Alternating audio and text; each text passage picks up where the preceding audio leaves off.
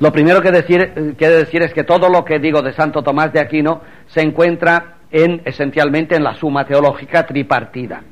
Son tres partes. Eh, como alarde para citar a Santo Tomás, conviene recordar que tiene tres partes y la segunda está dividida en dos más. Y por esto hay la primera parte, la segunda parte y la tercera parte, pero para citarlo se dice prima, prima es la primera parte, después prima secunde, primera parte de la segunda, y segunda secunde y tercia. Cuando se dice así, uno ya sabe que se sabe algo de Santo Tomás. Así que primera parte, primera de la segunda, segunda de la segunda y tercera. Y en la síntesis teológica se llama summa totius theologiae tripartita. Summa significa síntesis, suma y condensación. Lo quiso él así y lo logró. Condensación suma de toda la teología tripartida. Pero la teología en la Edad Media, en tiempos de Santo Tomás, es la síntesis del saber, sobre todo si el saber es aristotélico.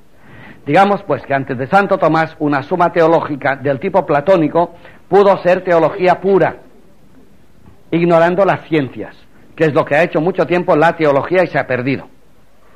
Pero desde Santo Tomás, y sobre todo con el aristotelismo averroísta, digamos, Aristóteles españolizado, siempre que se habla de suma teología, se habla de la teología como lugar de convergencia de todas las ciencias. Y esta es la moda que, empezada por Aristóteles, fue eh, establecida por San Alberto Magno, que era un científico.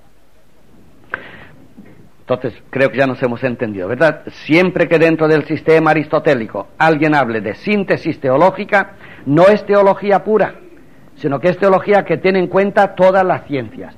Por esto se dice que Santo Tomás de Aquino es un sintetista teológico de todo el saber de su época. Y es verdad, y es verdad. Y ahí tiene la sorpresa de ver que cosas que tú decías, bueno, esto estaba eh, titubeante entre los alquímicos, Santo Tomás lo conoce y lo aplica. Por eso, la teología aristotélica es siempre sintética, no de sí misma, no es una suma de teología sin más, sino que es sintética de todo el saber de la época. Y debe ser así toda teología, según Aristóteles y según la misma teología. ¿Y por qué debe ser así? Un teólogo que solo sabe teología ha de callarse, no sabe nada. Pero también al revés. Y cualquier científico que no sabe teología no sabe más que una parcela porque todo termina en una unidad. Es lo que está sucediendo hoy. Relean ustedes a Fritjof Capra, por ejemplo, el punto crucial. Lean a Talbot, eh, misticismo y, física moderna. O lean, por ejemplo, a la, danza de los maestros. Se darán cuenta de que la física hoy desemboca en la teología. Posiblemente es el sino del siglo que viene. Lo mismo están haciendo los jóvenes, eh, por ejemplo, Ken Wilber o Sheldrake, son muchachitos de Berkeley que están empezando, vienen normalmente de las ciencias eh, experimentales y, pasan a teología, por lo menos a metafísica. Bueno, estos son hijos de Santo Tomás de Aquino, que no tenía hijos, pero ya ven ustedes, ¿por dónde? Hijos de Santo Tomás de Aquino y a la vez, apoyados en esta multidisparidad de las ciencias, todos intentan, o intenten a veces sin intentarlo, desembocan, eh, por la misma fuerza del saber experimental desembocan en una unidad que está más allá del saber experimental, como ya dije que se ha hecho en un libro que ya está traducido al español, el de Guitton, Dios y la ciencia, donde hablan los dos hermanos Botganov y Guitton está poniendo la, guindilla del saber teológico. Es un momento especial ahora para, para volver a tratar estas cosas y volverlas a entender. Bien, dicho esto, vamos a Santo Tomás. Primero, Gracias a las ciencias empíricas, Santo Tomás llega a una conclusión epistemológica que es decisiva y es la capacidad del conocimiento, del, entendimiento humano para conocer. En su tiempo, y hoy otra vez, muchos filósofos niegan la epistemología, es decir, la capacidad de saber que tenemos. Cuando yo, después de mil años de estudiar un árbol, digo lo que es el árbol en botánica, ¿quién sabe si yo he llegado a descubrir el árbol? Nuestro saber es aproximativo, eso se llama fenomenología. De las cosas conocemos el fenómeno, lo que muestran, lo que son es inaccesible. Tanto la estrella como el árbol, como el ratón, como el hombre es igual. Tú de mí sabes lo que yo irradio, lo que te muestro, nada más. y escribirá una biografía fulano de tal. biografía de la superficie más superficial de fulano de tal. Fulano de tal es inaccesible. Es decir, el conocimiento humano no está capacitado, no tiene instrumentos para llegar al cogollo de las cosas. Por eso lo que oímos es apenas nada de lo que se puede oír. Y lo que vemos no es lo que hay que ver. Y lo que amamos no es lo que hay que amar. Este pesimismo está vencido definitivamente por Santo Tomás. El entendimiento humano es un instrumento adecuado para alcanzar la verdad. Es una afirmación de él. Es muy optimista, ¿verdad? Eso demuestra, qué curioso, hace 2000, 700, en el año 1200, que un hombre, sin más y sin problemas, pero viniendo de una infinita experimentación de su maestro y de él mismo, llega a esta conclusión. El entendimiento humano es un instrumento adecuado para alcanzar la verdad. Y hay que ir por ahí. Lo que pasa es que te dirán, pero mil veces se ha equivocado. Claro, porque se creía haber llegado antes de haber llegado. Y claro que se equivoca entonces.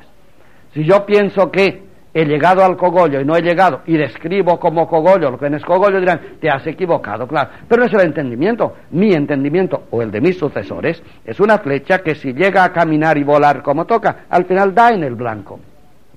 Primera afirmación. El hombre, el entendimiento humano, está capacitado para descubrir la verdad.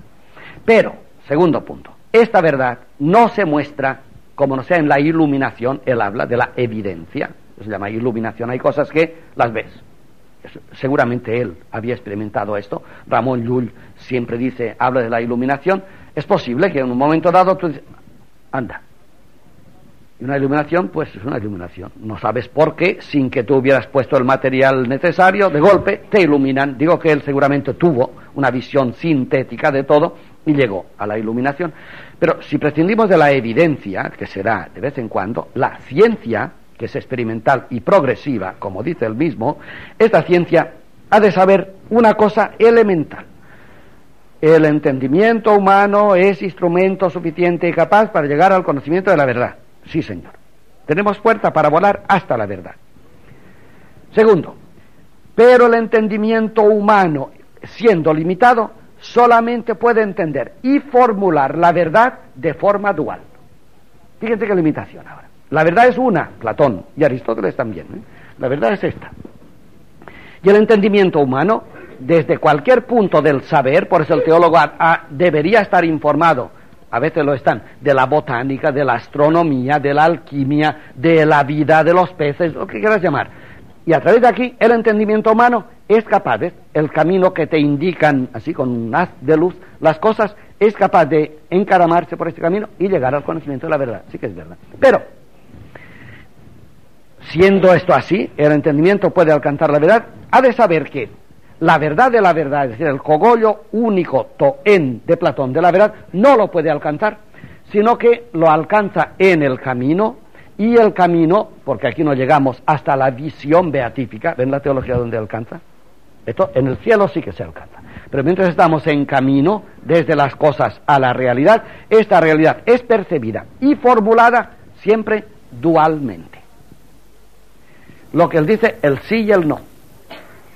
El sí y el no. O vía de afirmación, los duales los escribiré porque sí, pero ya, ya va hasta el final. lo que él llama vía de afirmación y vía de remoción. Afirmar es afirmar y remover es quitar. ¿eh? No solamente remover, sino quitar de en medio. Mientras vamos adelantando hacia la verdad, insisto, y el único, que el único que camino que tenemos para llegar a la verdad es el que nos ofrecen las cosas, la creación. Fíjense qué maravilla y qué optimismo sobre la creación. Luego tú tienes un pez abierto en canal delante de ti, esto es un camino para llegar a la verdad. Claro, ¿lo saben las ciencias o no? Claro. Tú estudias astronomía, pues los tratados de astronomía son un camino para llegar a la verdad. Por eso, si Dios es la verdad, la astronomía es un camino. Luego, un teólogo que habla de Dios ha de partir de la astronomía y de la botánica y de la biología y de la petrología, de lo que quieras llamar, ha de partir de todo y de tener en cuenta el saber. A esto estamos llegando hoy. La teología de hoy suele, piensen en Kunk, por ejemplo, suele hacerse en una gran colaboración, de forma que todos los especialistas aportan su saber. Y entonces los caminos van levantándose y confluyen.